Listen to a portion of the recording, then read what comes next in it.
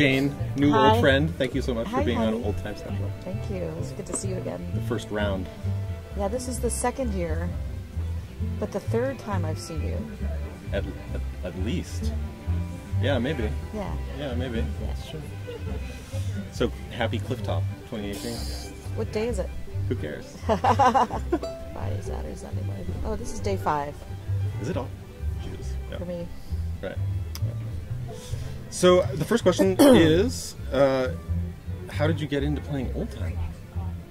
Well, I was very fortunate because when I was five, I was growing up outside of New York City with my family, and my parents always into music, and my mom was kind of a folky, pretty much when she was younger, I think. But we all went to New York for music lessons, and I got the Suzuki teacher. In fact, Louise Behrend, who is my teacher, from what I understand, brought the Suzuki method over to America, and I was one of her first little tinies, At age? five. Nice. So very, very lucky. I mean, it made a lot of sense because my I have a twin brother who also was taking lessons, but they didn't give him the Suzuki teacher. They gave him the regular teacher. Just Uh, an experiment, one with that Well, one. you know, I asked my mom recently about this because I was always intrigued as to why I got the Suzuki teacher, but I realize now when they did their assessments, whatever they did, I don't really remember what that was. They probably went, "Oh, that regular version, that regular way of teaching is not going to work for this one." Right. You know, so smart, right? they were smart. So smart. Cool. So this was at Juilliard. So every Saturday we'd go in and had ballet lessons and did my Suzuki class and learned Twinkle Twinkle by ear. And Right. my mom played the piano with me, so I guess I learned to. I never thought of this. I learned to jam at a young age, right? Right. But you did. And um, yeah, so then I started playing fiddle music probably when I was about 13 because my sister Suzy Thompson, she's a few, few years older than me, I think four, or four and a half maybe. She was playing in a bluegrass band and playing her fiddle and being a singer and a folk, folk singer and stuff. And so there was pretty early on there was that kind of music. And when we moved to Connecticut, when I was in fifth grade, there was the Hartford Fiddle Contest and bluegrass festivals and fiddlers conventions. Right. And my brothers were in Doc Watson. I mean, it was just really. It was uh, around. It was around. I mean, I didn't up in the in the you know North Carolina mountains, but I grew up in a fertile place for traditional music in New England, Right. and so. So yeah, so I guess about 12, 13, I started playing Fiddle music. fiddle music. I went to my mom would take me to the Bristol Old Time Fiddlers Club in Bristol, Connecticut. A lot of French Canadian musicians there. And, um, I go up there and play a tune, and um, I used to hang out with uh, an older fiddler who was probably younger than I am now, named Leo Baudouin from Canton, Connecticut, and he was a lovely French Canadian fiddler, and he played with great tone and great lilt and little kind of personality. I realized that's that's my wellspring. That inspired you. You mean that was what? I think it tempered everything that I, a lot of what I do now. Yeah. Like at the beginning. because it got yeah. you hooked. That was like the person who got you hooked, or Got me hooked, but I heard this way of playing, which was, you know, rhythmic and but good tone and a lot of, you know, I guess that sort of swingy, groovy kind Yeah. of thing that I've that I have in my playing. Right. And if I trace it back, it's definitely to Leo Baudouin, Right. which is it's kind of cool. yeah. Yeah. So that's a long story, long or short story. No, and that was sudden. Yeah. Now there are lots of years of playing old time.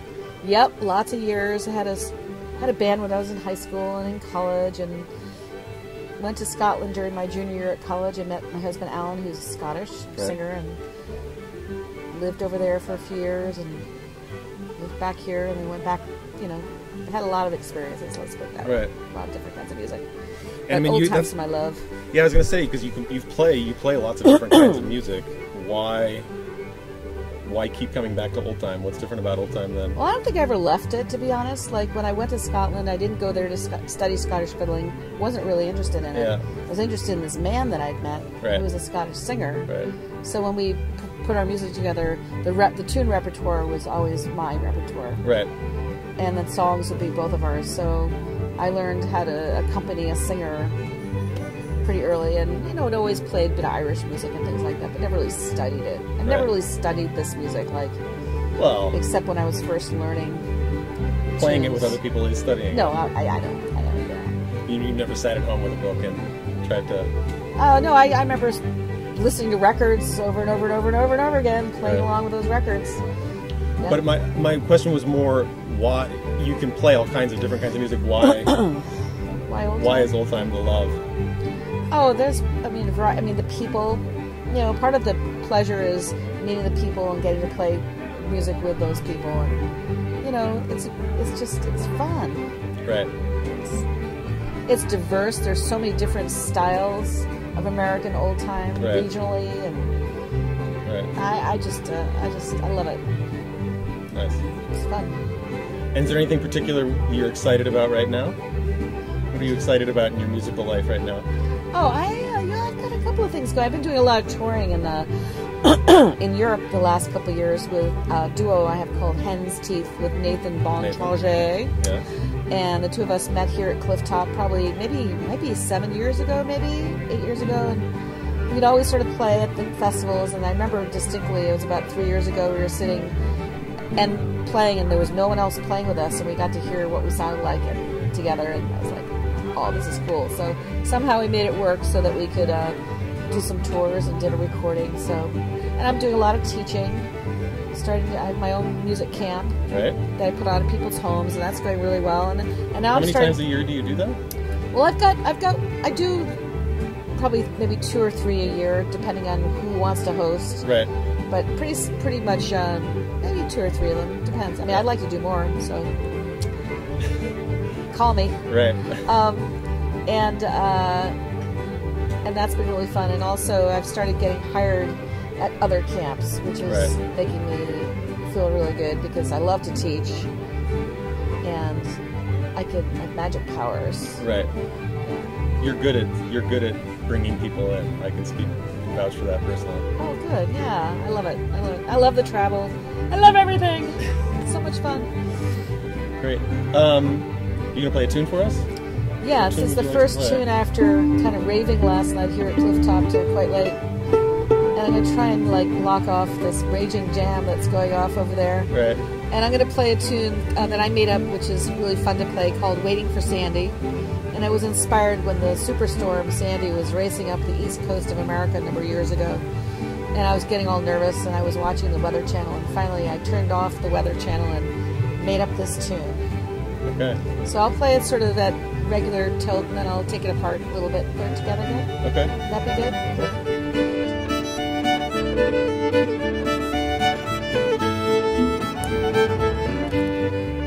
So, They all put together here. Nothing sticking out. so what's it called again? it's called "Waiting for Sandy." Waiting for Sandy. Yeah. Okay. Ready? Here's it in D. I made this up on the banjo. Nice.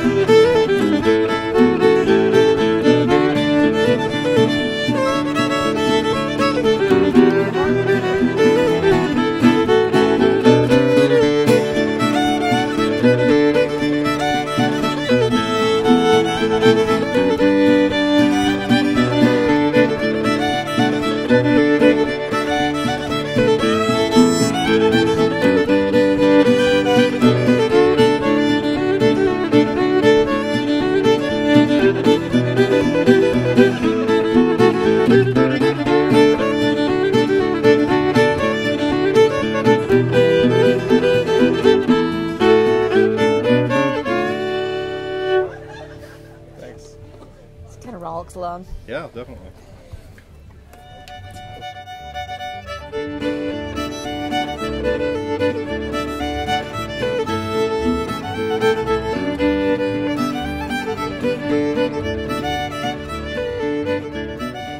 So here's Waiting for Sandy. It's a tune that I made up, and it's in the key of D. It goes like this.